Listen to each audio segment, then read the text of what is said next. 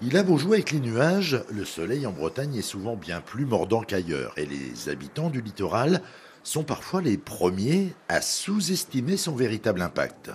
C'est vrai qu'on ne se rend pas forcément compte.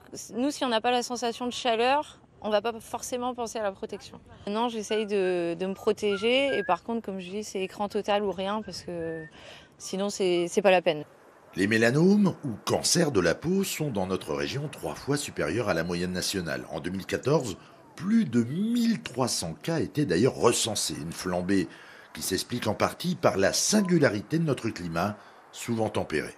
Il y a un ensoleillement caché par des nuages, il y a des embruns, il y a du vent qui fait que lorsqu'on sort vers 13 heures, la température est bonne et, on a le temps de s'exposer plus longtemps au soleil que si on est sur la région PACA et que lorsqu'on sort à la même heure, on a l'impression que le soleil fait pique, fait mal et donc pour ces raisons, on préfère se protéger et rentrer.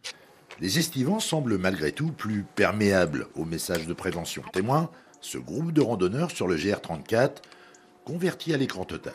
J'ai mis du temps à être consciente. C'est vrai que j'ai la chance d'avoir euh, de la famille dans le milieu médical et c'est vraiment à force d'être sensibilisé, ben voilà, on met la crème. Et si le soleil brille pour tout le monde, encore faut-il ne pas en abuser. Sous leur chapeau, c'est le discours de ces deux vacancières. C'est important de renouveler et c'est important aussi de ne pas faire des stations trop longues. Bon, par exemple, vous commencez par 10 euh, minutes, 15 minutes, euh, et puis au fur et à mesure, vous pouvez euh, un petit peu augmenter votre position au soleil, et puis aussi sur ce type de plage, vous êtes dynamique, vous bougez, vous jouez, etc. etc. 64 décès par an en moyenne en Bretagne chaque année, c'est trop, beaucoup trop. Les dermatologues veulent le rappeler, si le soleil tue, le dépistage précoce peut sauver des vies.